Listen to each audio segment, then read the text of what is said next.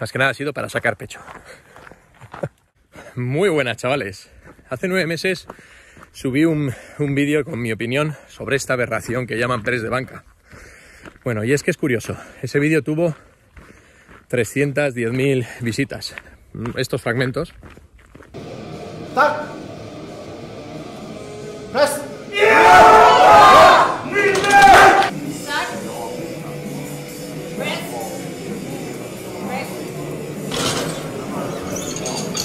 Impactaron bastante a la gente. Al parecer la gente se creía que el press de banca era en todos los igual y en competición pues más aún.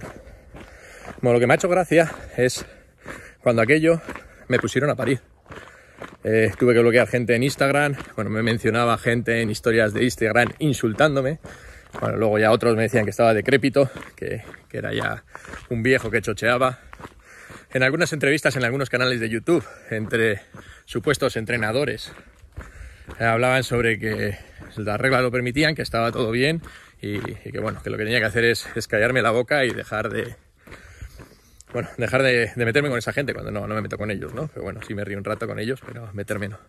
Eh, y bueno, y en estos canales me, me ponían a parir, ¿vale? Gente que, que, me odia, me odia a muerte. Bueno, lo curioso es que ahora con este último vídeo sobre los que sobre el campeonato de press de banca de, Europa que están batiendo, del mundo, que están batiendo un montón de, récords del mundo, eh, haciendo recorrido cero, resulta que no he recibido ninguna crítica. ¿Eh? ¿Qué ha pasado?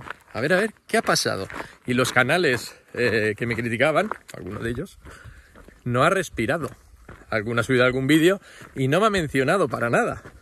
No hace falta que me menciones. Pero si me utilizas como imagen de alguien que va en contra del Pérez de Gamba, cuando todo el mundo está ahí arriba, también la podías utilizar cuando has oído que la IPF para el 2023 va a cortar el, el press de gamba, lo va a cortar de raíz, según dicen, ¿no? Todavía no lo sé si lo van a hacer o no, pero de momento todos callados como perras, ¿verdad? No he recibido ni insultos, no es que quiera que me insultéis, ¿eh? Pero me ha parecido gracioso. Ni insultos, ni, ni vídeos de ningún tipo, ni enlaces, ni chorradas de esas. Ahora todos callados porque si la IPF cambia esas reglas del press de banca porque están mal, quiere decir que habéis estado metiendo la pata todo este tiempo. Simplemente que os dejáis llevar por, por las olas de, de, de unas veletas. Depende para dónde sople el viento, para allá vais. Bueno, si las reglas cambian, es porque estaban mal. Aún no han cambiado, ¿eh? De momento se siguen batiendo esos récords ridículos y absurdos. Y ahí están, con las mismas reglas que todo el mundo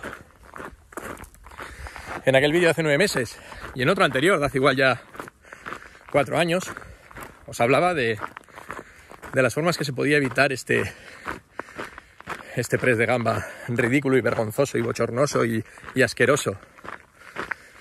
Y simplemente era llegar al ángulo, miro, madre Dios, llegar al ángulo recto con el codo, en vez de tener que estar así. En el anterior vídeo que he subido os ponía una raya a la altura del nivel del banco. El codo debe de llegar a esa raya, debe llegar a la altura del nivel del banco. Y varias formas eh, para corregirlo. Veréis cómo no andaba muy desencaminado. Pero bueno, este vídeo más que nada ha sido para sacar pecho. Ese que entrenamos cuando hacemos press de banca. Cuando hacemos press de gamba, entrenar la panza. Así que nada, aquí estoy para tocar las bolas. Eh, muchas gracias a todos porque los comentarios habéis sido súper respetuosos, más de lo que es esta gente, muchísimo más.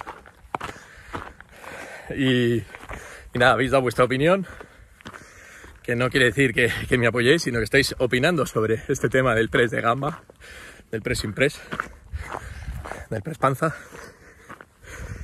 Y nada, eh, que me lo paso muy bien con vosotros, que me alegro mogollón, que por fin ya la IPF por lo menos se plantee el hecho de que este ejercicio no es un ejercicio de powerlifting, no es un ejercicio de fuerza, es un ejercicio de elasticidad y simplemente no se puede llamar press, press banca. ¿Por qué no? Ya lo bauticé hace, hace años con mi amigo Miguel aquí en el canal. Ese es un press gamba y lo demás son chorradas. O sea, Ahora que si cambian las reglas, ¿qué va a pasar? Joder, otra puta cuesta, la Virgen anda. Bueno. Si cambian las reglas, hostia, es que subir esto cuesta arriba, te cagas. Si cambian las reglas, ¿qué va a pasar?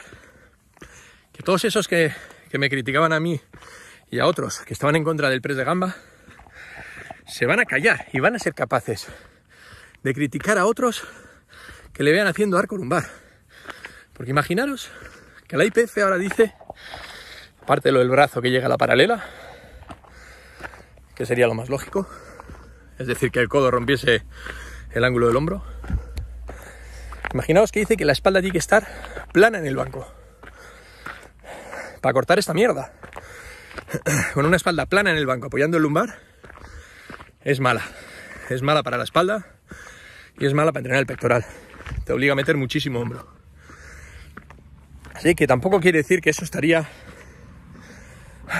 bien hecho representando un press de banca normal. Pero bueno, esperemos a ver hacia dónde van las